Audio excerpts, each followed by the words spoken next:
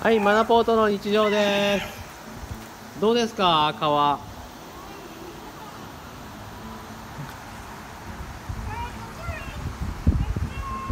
えー、今日はフォートナイト合宿なんですけれども、あの川に遊びに行きたいメンバーもいましたので、川にやってまいりました。ち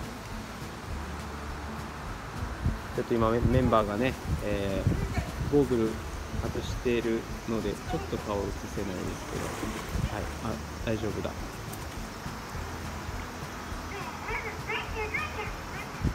結構今今日ね気温が何度かな？29度ぐらいじゃないですかね、うん、川寒い大人的には寒いかなって感じなんですけど子供は平気です。それでは。